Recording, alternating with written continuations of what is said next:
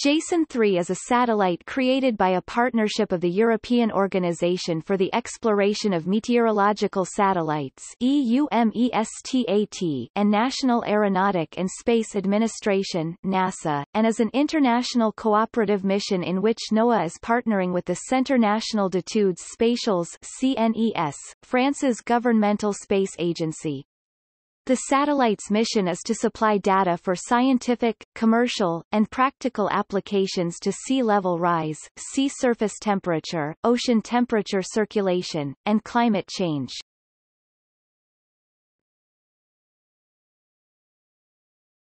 Topic. Mission objectives Jason 3 will make precise measurements related to global sea surface height. This data is important to collect and analyze because it is a critical factor in understanding Earth's changing climate.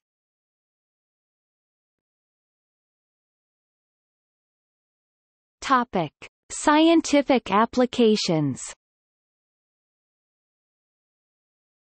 The primary users of JASON 3 data are people who are dependent on marine and weather forecasts for public safety, commerce and environmental purposes.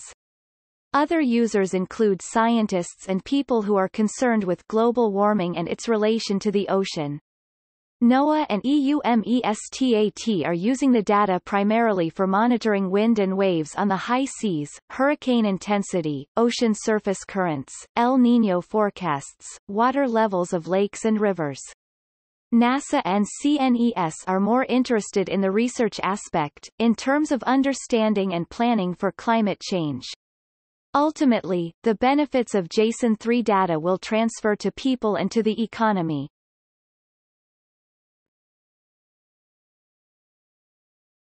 Topic. Orbit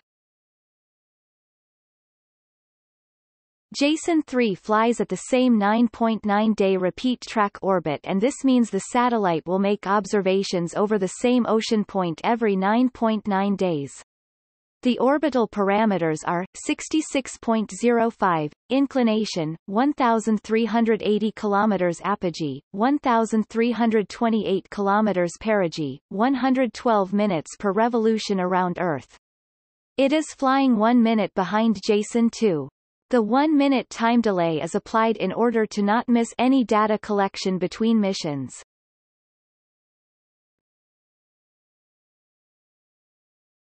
Topic.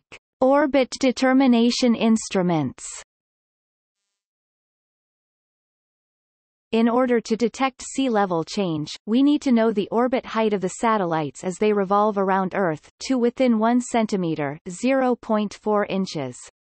Combining instruments from three different techniques GPS, DORIS, LRA, the GPS receiver on JASON 3 uses data from the constellation of GPS satellites in orbit to constantly determine its position in orbit.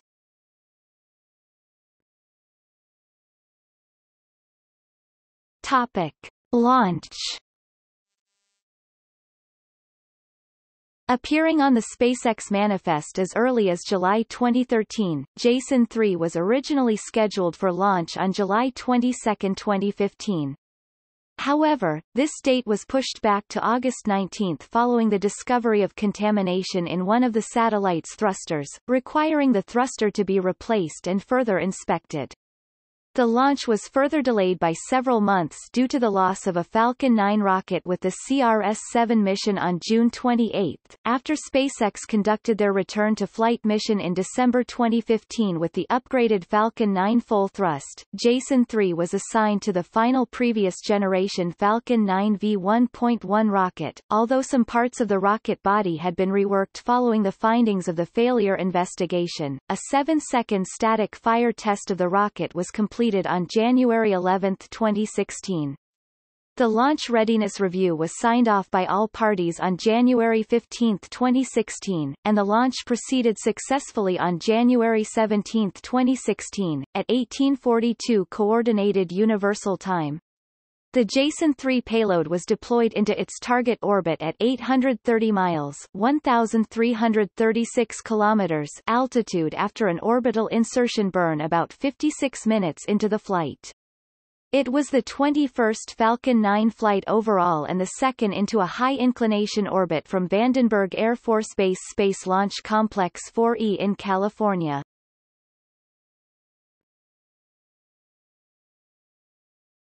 Topic. Post-mission landing test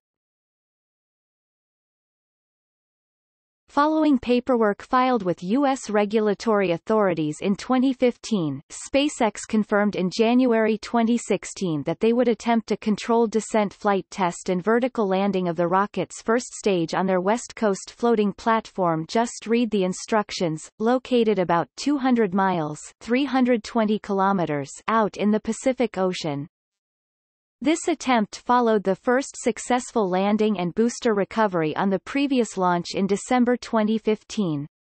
The controlled descent through the atmosphere and landing attempt for each booster is an arrangement that is not used on other orbital launch vehicles. Approximately nine minutes into the flight, the live video feed from the drone ship went down due to the losing its lock on the uplink satellite.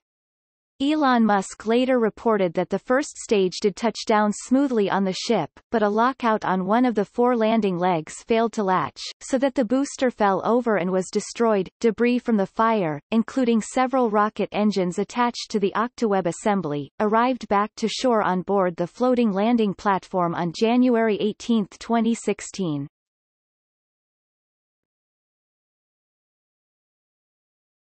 Topic.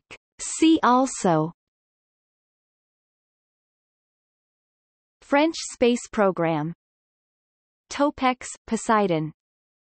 Jason 1 Ocean Surface Topography Mission Jason 2 List of Falcon 9 launches